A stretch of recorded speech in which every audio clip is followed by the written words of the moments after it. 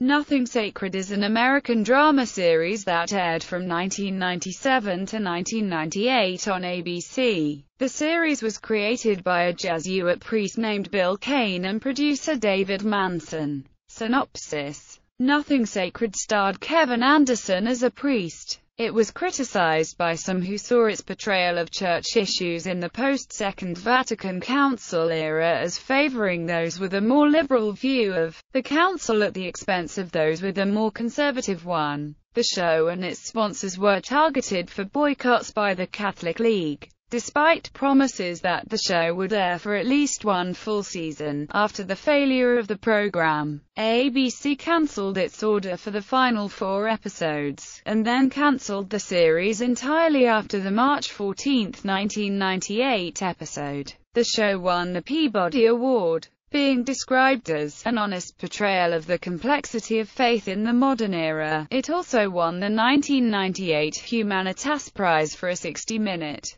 television series as well as the Founders Award from Viewers for Quality Television Production. It portrayed the administration of St. Thomas Church, a Roman Catholic parish in Chicago, Illinois. Exteriors were shot at Angelica Lutheran Church in the Pico Union District of Los Angeles, selected for its brick Gothic architecture. The Sanctuary of Angelica was also used to represent the sanctuary of a fellow clergyman in one of the episodes. Nothing Sacred premiered on September 18, 1997 at 8 p.m. 7c on ABC. Broadcast history Thursdays 8 p.m., Saturdays 8 p.m. Cast Kevin Anderson, Father Francis Xavier, Ray, Reno, Bruce Altman, Sydney Walters, Scott Michael Campbell, Father Eric, and Ann Dowd, Sister Maureen, Mo, Brody, Tamara Mello, Rachel, Brad Sullivan, Father Leo,